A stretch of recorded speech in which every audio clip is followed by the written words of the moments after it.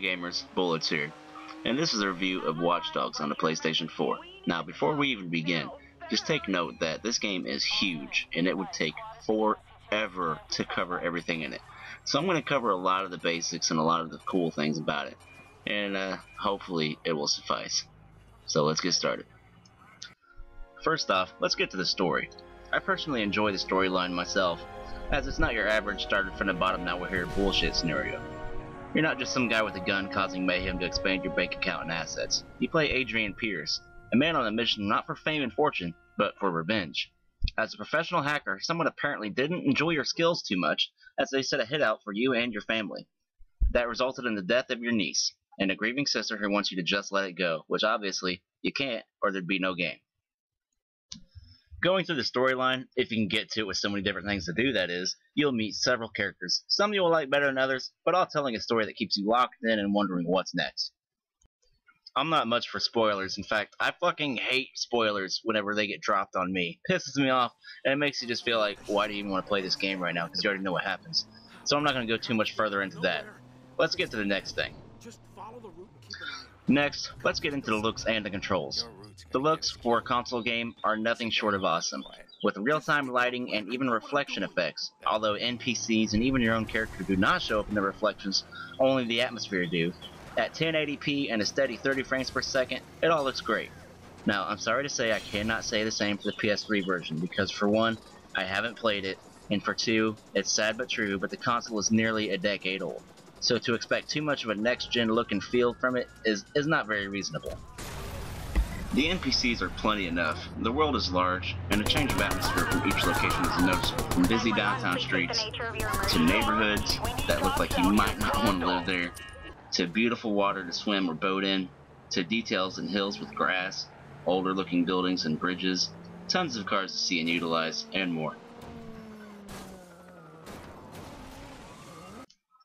Not only are there tons of things and locations to visit, but there's also, as I said before, tons of things to do, from mini games of poker, a chess type challenge, to an old school arcadey feeling race against time on foot to collect coins, to full digital trips where the mini games feel so well and look so well done that they, they could clearly be classified as a full-on bonus games, as in games inside of a game, games that you would have bought separately on PlayStation Network or something. These games are so awesomely created that you will spend time and time and time again dying and trying them again.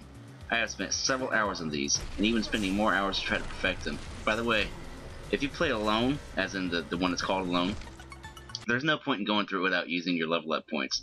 You, you don't get anything special. No uh, trophy, no nothing. Just a crazy hard challenge. Trust me. but on the brighter side, they're lots of fun regardless. I found myself, like I said, spending a lot of time in them, and I'm pretty sure you will too. Each one posing its own challenges and completely different than the other. The gameplay as a character on foot feels very much like a cross between Assassin's Creed, The Last of Us, and even a little bit of Gears of War. Assassin's Creed feel comes from the sneaking around, ease of one-button takedowns, and the ability to fluently transition from platform to platform or climbing over fences and cars simply by holding your run button and the action button simultaneously. The Last of Us feel comes from being able to craft your own explosives and gadgets from materials either found or bought, and the aiming of the guns feels similar to it as well, which is pretty spot on and accurate. The Gears of War feel comes from a very well done duck and cover system, where you easily move from cover to cover with a one button press and letting Adrian do the rest, which is very effective in heavy shootouts. All in all, minus the no melee other than takedowns, that sucks you guys. I really wanted to start beating people up. Oh well. Controlling Adrian is a breeze and a joy, as the animations for him are also done beautifully. Now let's get to one of the biggest parts of Adrian, his phone. With a phone, you will hack into NPCs for access to bank accounts, new songs, one-time hacks, and even side missions. Also, you can easily access your skills, minigames, trips, have cards delivered to you once they're bought for a one-time fee, check your stats, and access online gameplay as well. Also, the phone is essential to many missions as you will use it to hack into servers, cameras, set off car alarms for distractions, cause explosions in the atmosphere, and more. Needless to say, you'll be using the square slash hack button a lot.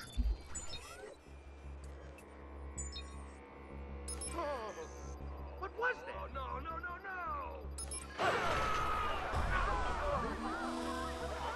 no, Let's get to the driving. There are several car, truck, bike, and boat types to choose from, each having its own feel, look, and speeds. Being able to change your views is a huge plus, though I find the ranged view the most effective when being chased, so you can see all your surroundings. With World being your racetrack and playground, you'll have lots of fun wrecking others, crashing into things with great detail of shattered fences, bus benches, paper stands, etc. Though slightly twitchy when adjusting your direction by a few degrees, it still holds its ground and proves that driving in open worlds doesn't have to be a complete mess. Driving plays a huge role in online play as well, as you can race against up to 8 other drivers at one time in an old-fashioned racing with a twist. The atmosphere can still be hacked, and you can lose your first place easier than you obtained it. Now let's go to the character progression. There is quite an extensive skill tree here, or skill dial as it appears, for the main game. Leveling up by escaping police pursuits, preventing crimes, finishing storyline missions, and more, you gradually acquire more skills and equipment ranging from skills to making driving easier, carrying more grenades, new things to hack, etc. This gives Watch Dogs a feel of constant progression, even if you are more so just doing side missions rather than following the main storyline. There are also skill trees for online challenges. Even the digital trips have their own little skill sets to utilize, giving you a feel that nothing is a waste of time in Watch Dogs and always leads to more progression as a player.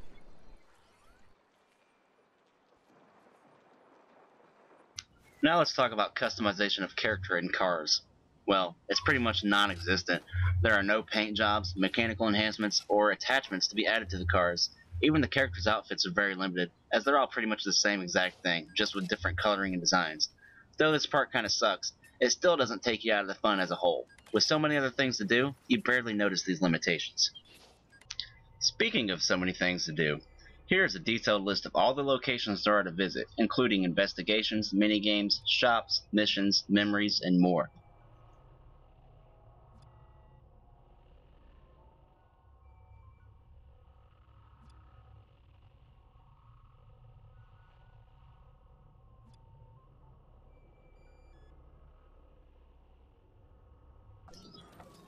Though this game was hyped beyond all hypes, and it didn't exactly deliver its graphical promise of, in quotations, next-gen game, it still did pretty damn good.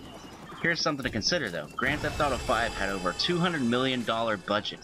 Watch Dogs only had a $70 million budget. So all things considered, I would say they delivered a pretty damn good experience, especially for an unproven IP. It's ranked number one in Ubisoft sales for a reason. It's a good game. Though it does have some flaws, I admit, such as loopholes in escaping police with a boat, or allowing more of the cyborgs while you're playing the game alone, the mini-game alone that is, you can let these cyborgs follow you and run out of bounds, causing them all to drop dead, which doesn't help much in the long run because they just reappear, but still, it was a nice little escape. And there's even a little, you know, once that I got stuck in a place. I was riding a bike and I got wedged into a, a, railing and I couldn't move and the cops pretty much shot me dead. But that only happened one time through all the hours I've put in. So overall, they did deliver what they promised, and that was a unique take on an open world game. Now let's get down to the nitty gritty. All things considered in Watch Dogs, the good, the bad, my final rating for this game is pretty high, 9 out of 10. Yeah, yeah, a lot of people complain that it sucks compared to GTA 5, but whatever, it's not GTA. You want GTA? Go play GTA. Watch Dogs, its own IP, it's its own thing. It, you can't compare it. The only thing that even compares it to is the ability to take cars and cause havoc. I don't feel I don't feel right telling you to buy it or not buy it, but I will say I do not regret paying for this game at full price. Also, remember there's there's so much in this game it's impossible to talk about it all without doing an hour long review. I hope this review helped you a little bit to decide whether you want to play or not to play this game. I was not disappointed in any way, and I'm more than happy to finally have gotten to play it and own this on my own. Thanks for watching. Remember, if you like this video, share, click that like button, comment, and if you feel that I've shown you enough to keep you coming back, go ahead and subscribe. I have more reviews coming. Next one will be Murdered Soul Suspect coming soon. Thanks for watching and supporting my channel. Bullets out.